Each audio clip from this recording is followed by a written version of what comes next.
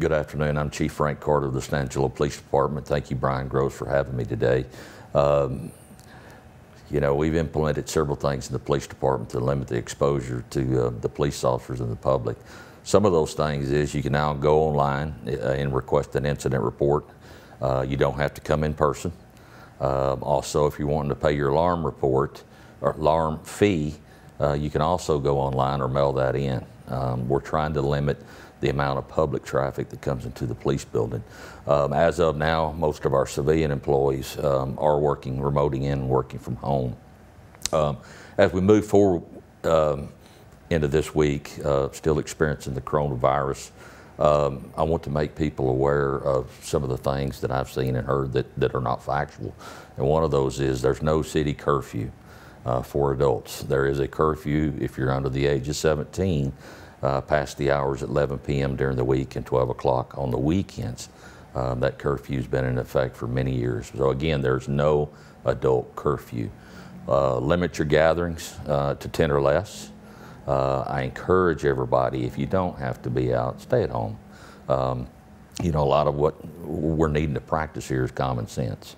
Um, grocery stores, um, abide by the limits. That way everybody has, has a supply to go around. And of course, the governor uh, enacted uh, uh, new regulations last week for 10 or less, uh, closing the bars, uh, closing the restaurants to, and takeout only.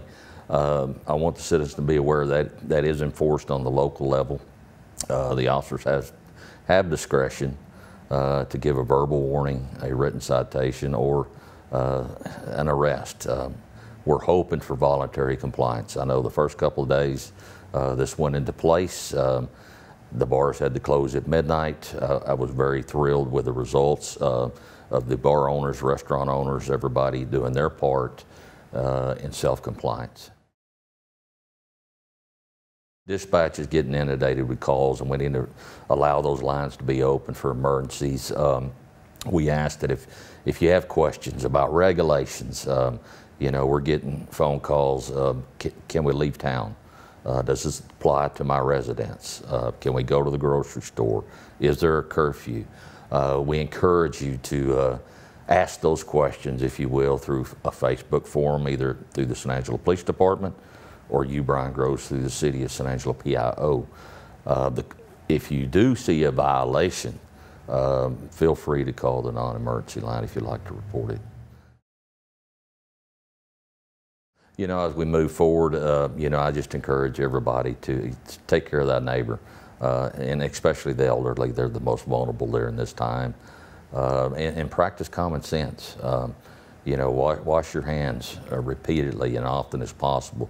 Um, if you don't have to be around people, don't. Um, when you go to the grocery store, um, you know, send one person, eh, not the entire family. Uh, I know they're limiting uh, the amount of people that they're allowing in at some of these grocery stores. And again, pay attention to the limits so there's enough food and, and supplies to go around for everybody.